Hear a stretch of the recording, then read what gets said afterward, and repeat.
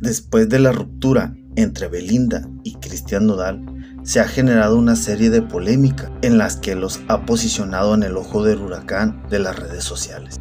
Como pueden darse cuenta, hay muchos haters en lo que vienen siendo las redes sociales y uno de esos haters le tocó al señor Cristian Nodal.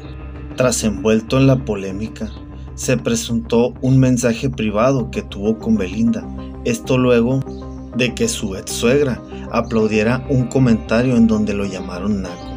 Ahora, ¿qué sucedió? Resulta que según Ventaneando, la abuelita del cantante arremetió en contra de Belinda y la mamá de la cantante, afirmando con sus propias palabras las siguientes.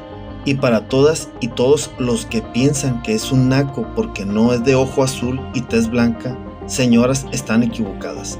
Hay lobos con piel de cordero y esas son finas, vividoras que en mi tierra se les conoce como a quien va de hombre y hombre, ah, perdón.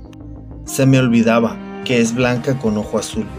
Y perdón, disculpen ustedes, aseveró la abuelita de Nodal, según una captura de pantalla del mensaje que fue compartido por el programa Ventaneando de TV Azteca.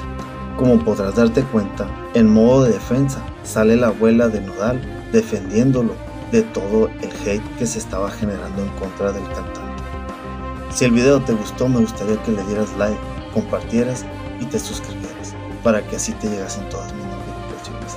De antemano, gracias por el apoyo y si te gustó, nos vemos en el próximo video. Hasta la próxima.